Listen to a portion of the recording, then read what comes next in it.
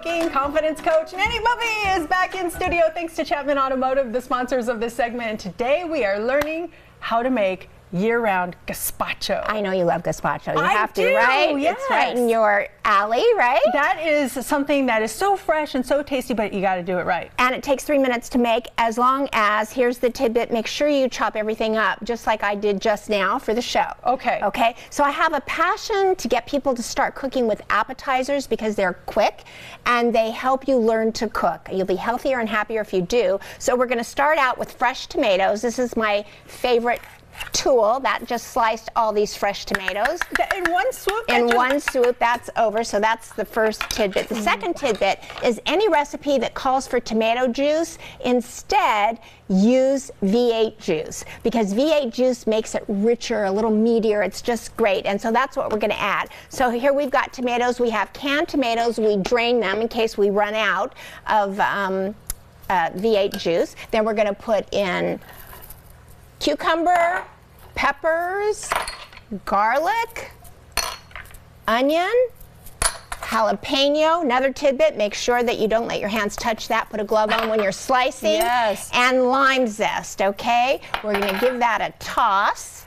Everything is so, So fresh. Can you smell it? I right? can. Now in goes the salt and pepper. Okay.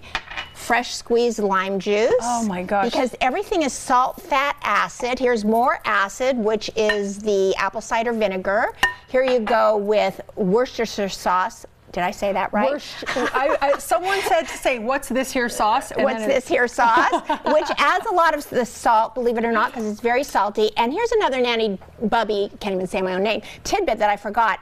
In this recipe, I use smoked uh, Tabasco sauce. So Oh. it's, it's smoky, it's bold, and it's chipotle smoked, and it's great. So about one and a half teaspoons of that in there, and then smoked olive oil. So we're going to put that in, and now very quickly in comes four cups I know we're coming down to the wire Right, here with okay. about 30 so we're going to mix it up, and then in order to add a little bit of um, texture, we're going to take half of it, pour it in another bowl.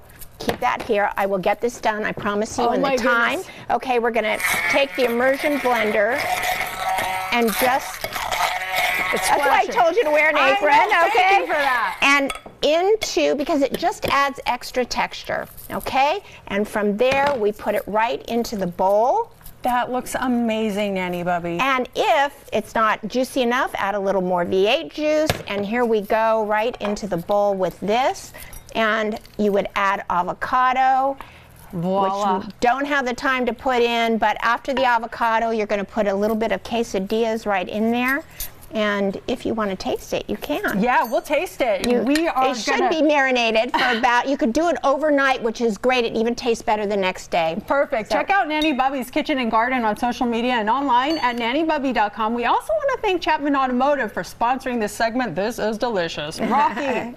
Save some for me, Mercedes.